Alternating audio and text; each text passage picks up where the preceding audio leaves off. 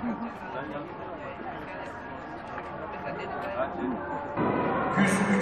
yıl dönümü.